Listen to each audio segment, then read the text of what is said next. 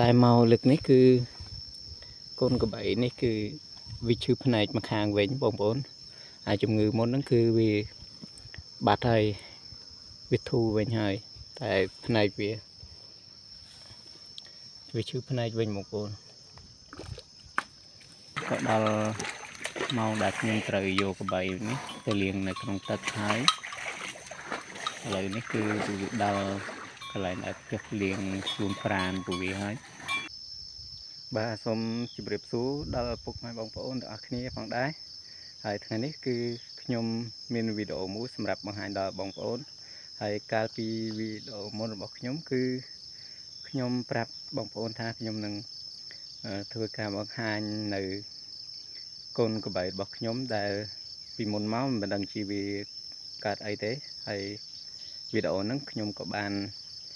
ផុសទៅហើយក៏មានបងប្អូនយើងមួយចំនួនផងដែរដែលគាត់បានខមមិនសួរថាកូនក្បីរបស់ខ្ញុំហ្នឹងវាឥឡូវហ្នឹងគឺវាយ៉ាងម៉េចហើយហើយសម្រាប់វីដេអូនេះគឺខ្ញុំនឹងបង្ហាញដល់បងប្អូនជាមួយនឹងកូនក្បីរបស់វីដេអូដែលខ្ញុំបានបង្ហាញពីលើកមុនហើយសម្រាប់បងប្អូនដែលចង់ដឹងថាកូនក្បីរបស់ខ្ញុំ មួយហ្នឹងវាយ៉ាងម៉េចនោះសូមតាមដាននៅវីដេអូនេះទាំងអស់គ្នាអូខេបងប្អូនឥឡូវនេះគឺខ្ញុំក៏បានទៅដល់កន្លែងដែលខ្ញុំចងកបីហើយហើយនេះគឺខ្ញុំចងឲ្យវាដេកត្រាំនៅ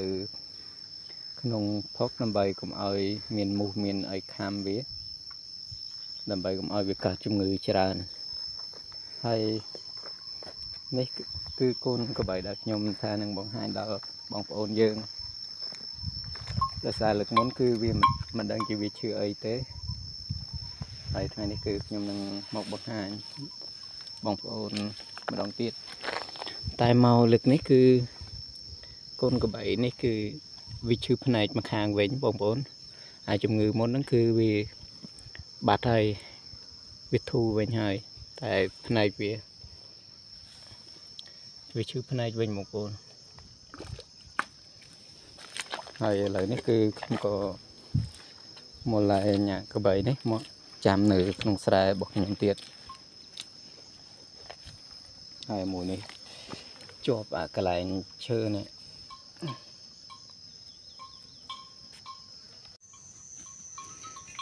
បាទឥឡូវនេះគឺខ្ញុំលែងក្បីខ្ញុំរួចអស់ហើយនៅ ចាំក្បែរខ្ញុំឲ្យវាដើរស៊ីនៅតាមព្រៃបន្តិចសិនទៅមកខ្ញុំនឹងយកក្បែរនេះទៅដាក់ក្នុងស្រែ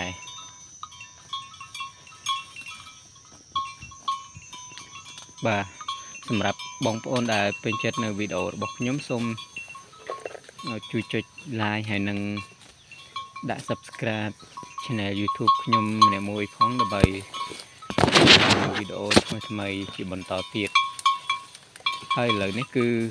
ខ្ញុំនឹងមកបង្ហាញនៅកូនកបីរបស់ខ្ញុំនេះ ដែលមិញហ្នឹងគឺខ្ញុំនិយាយថាកបីនេះវាឈឺភ្នែកដោយតែបងប្អូនបានឃើញតាមរយៈវីដេអូនេះដែរគឺភ្នែកវានៅខាងស្ដាំដៃគឺឈឺហើយខ្ញុំមិនទាន់បាន រោគថ្នាំដើម្បីមកព្យាបាលវាទេនេះបងប្អូនឃើញវាបើកទូចទូចនឹងវាឈឺហើយហើយសម្រាប់បងប្អូនដែលដឹងថារបៀបព្យាបាលផ្នែកអ្វីហ្នឹងកុំឲ្យវាមានអាចជំងឺនឹងវាកើតឡើងសូមជួយខមមិននៅខាងក្រោមវីដេអូរបស់ខ្ញុំផងដើម្បីឲ្យខ្ញុំបានដឹងថាថ្នាំប្រភេទណាដែលប្រកែ ឬក៏ថ្នាំណាដែលល្អគឺខ្ញុំនឹងសាក់លបងប្រើតាមពុកម៉ែបងប្អូនហើយឥឡូវនេះគឺគ្នាមានតែផ្នែកម្ខាងទេដើម្បីមើលចំណៃរបស់វាហើយមួយនេះគឺក្បីខ្ញុំដូចគ្នាតែអាហ្នឹងអត់អីទេ តែចំពោះកូនកបៃមួយនេះគឺវាមានបញ្ហារហូតតែម្ដងបងប្អូនហើយពីមុនមកមិនដឹងជាវាឈឺអីទេហើយបន្ទាប់ពីជាអាពីជំងឺហ្នឹងក៏ចូលអាជំងឺភ្នែកនេះមួយទៀតដល់កមកបងប្អូន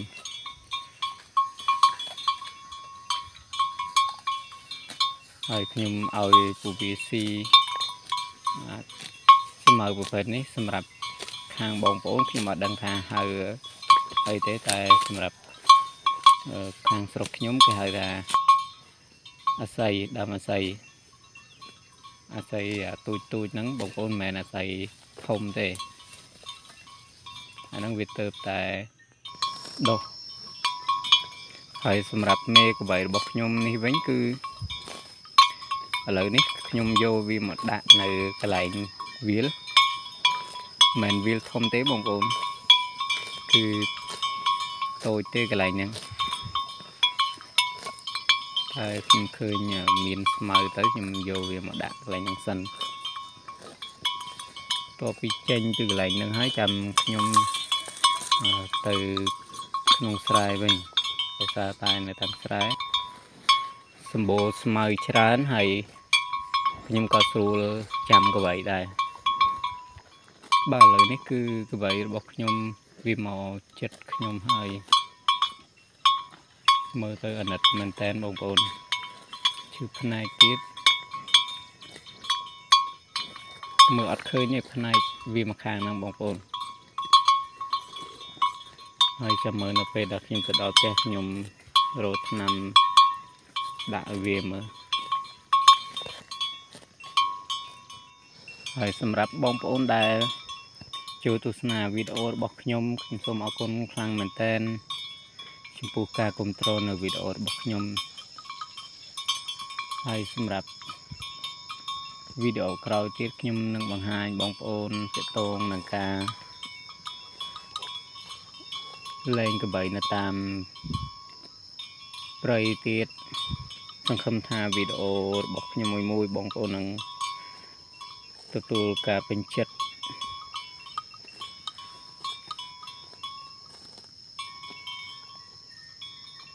ពីព្រោះវីដេអូរបស់ខ្ញុំខ្ញុំធ្វើតាក់ទងតែជាមួយនឹងការចិញ្ចឹមកបីទេ ហើយសម្រាប់បងប្អូនដែលចង់ចិញ្ចឹមកបីសូម មើលនៅសកម្មភាពរបស់ខ្ញុំរាល់វីដេអូដែលខ្ញុំបានអាប់ឡូតដើម្បីឲ្យបងប្អូនទទួលបាននូវបទពិសោធន៍ពីការចិញ្ចឹមកបីបាទនិយាយមកផ្លែក៏ដល់ម៉ោងដែលខ្ញុំត្រូវយកកបីនេះទៅលាងនៅក្នុងទឹកហើយឥឡូវនេះគឺវាដល់កន្លែងដែលចុះលាងខ្លួនប្រានពួកវាហើយ ហើយសម្រាប់កបីបើនិយាយរឿងទឹកគឺអត់ពិបាកទេបងប្អូនសំខាន់ឲ្យតែមានទឹកទឹកជ្រៅក៏វាអាចមួយបានដែរដោយសារកបីវាចេះហែលអត់ពិបាកទេបងប្អូនហើយកន្លែងស៊ីក៏ស្រួលអត់ដូចគោទេបងប្អូនឃើញនៅសល់តែក្បាលហ្នឹងបងប្អូនខ្លួនវាលិចចូលក្នុងទឹកអស់ហើយ បាទអរគុណសម្រាប់ការទស្សនាវីដេអូរបស់ខ្ញុំតាំងពីដើមរហូតដល់ចប់ហើយវីដេអូរបស់ខ្ញុំថ្ងៃនេះគឺខ្ញុំមានតែប៉ុណ្្នឹងទេហើយក៏សូមខន្តីអភ័យទោសរកកំហុសខុសឆ្គងរកពិពេចដែលនិយាយទៅមិនសមរម្យ